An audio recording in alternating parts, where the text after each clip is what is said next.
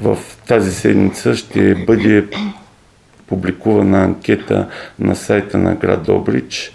А, анкетата е във връзка с а, новия облик на нашия център.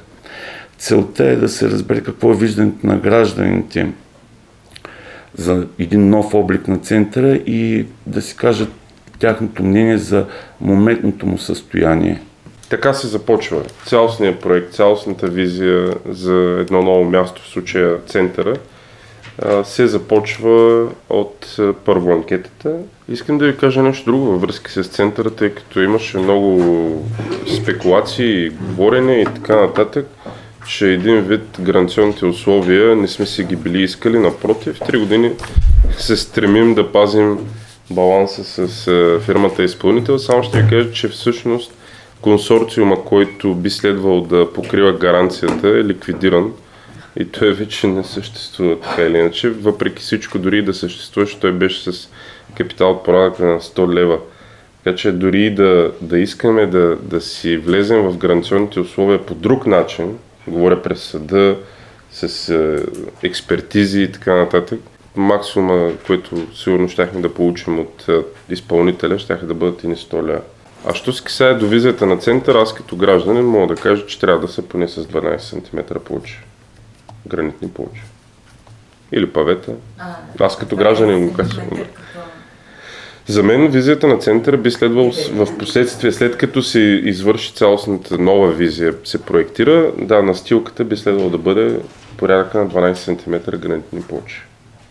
Което няма мърдане, а, много смешно звучи някой да ти казва, че по центъра не може да се движи линейка, пожарна. Пожарните имайте предвид, че са най-тежката техника изобщо. Не говорим за цистерни с вода и други. Пожарната сумарно с пълна цистерна силно тежи над 15 тона. Не може да ми кажете, че една пожарна не трябва да се кача на центъра. Значи не трябва да, да става пожар, да не дава Господ ден, ако се случи нещо, какво правим? Няма такова нещо. Насякъде всички сте ходили и сте виждали и сме виждали. По центъра, по това, което даже и с а, запознати хора сме коментирали, в центъра на Виена голям тир 40 тонен спира за да разтовари сцена на гранитни плочи няма никакъв проблем. Просто е несериозно да кажем, че сме проектирали център, който да издържи 2 или 3 тона. Казвам, че нашата визия като задание в последствие ще бъде настилката да има поне 12 см дебелина. Да, това го разбрахме в момента. Да. Какви са плочи? А в момента няма 2, 14 мм на места, сантиметър и половина. Значи варират между 1,5 и 2 см. Това е вариацията. Ако забележите, може да си направите тест някъде в около площада Свобода са около 2 см, 1,9 до 2, малко по-надолу вече, не знам защо. Това е много странно малко по-надолу към църквата отиват на 1,5 към църквата Свети Георги. Аз съм си правил този тест. Няма как да конкретизираме. Примерно, вие, да кажем, вие искате да има фонтан. Голям. Условно казвам. Друг иска да има нещо друго. Идеята тук е цялостно проектанско решение да разгъне площа на центъра и да направи една нова визия. Трябва да разберете, че изначално, когато е сбъркан подхода, няма как накрая след 8 години ние да, да постигнем чудеса. Мисля, че постигнахме добри, така, добрия баланс, в който общината не беше ощетена и с цялата сума за проекта на център.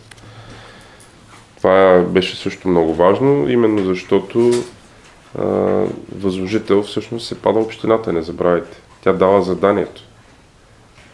А, истината е, че няма, няма такива повече. Аз преди време бях разговарял с вносителя преди 3 години повече.